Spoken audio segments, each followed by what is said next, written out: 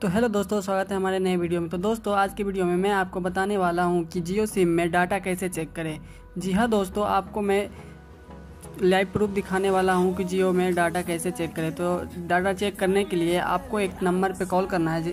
वो नंबर है eleven nine. जैसे इस पर हम कॉल करेंगे, जैसे कॉल करने के बाद ये कॉल अपने आप कट हो चुका है। उसके बाद हमारे पास एक मैसेज आएगा, जैसे कि देख सकते हैं यहाँ पे मैसेज आ चुका है।